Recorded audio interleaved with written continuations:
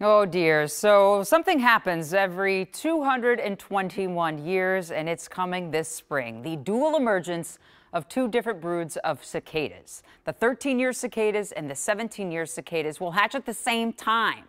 You can see those two orange shades behind me, which people in the eastern half of the nation will definitely notice. Today, John Croman talked to some people who say they aren't bugged by this at all. You say cicada, I say cicada. Whole bunch are coming, so what's the matter? Nothing. If you talk to the bug people.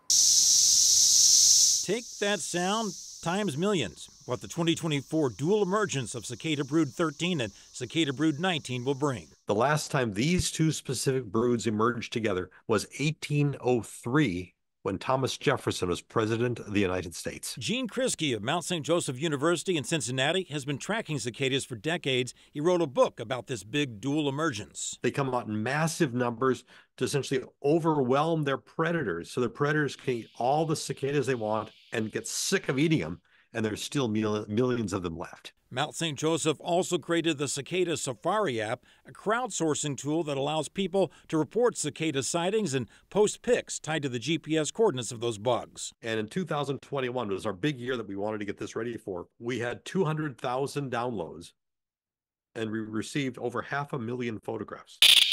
The U of M's bug expert, Vera Krischik, is also excited about the big hatch. Every entomologist has a kid inside and all those kids just want to watch the uh, civilians, the non-entomologists, squeal as these uh, cicadas are all over the place. So that's our fun. Minnesota is too far north to get periodic cicadas, but we do get the annual Dog Day cicada, named for the dog days of summer, fascinating in their own right. The eggs hatch into little nymphs.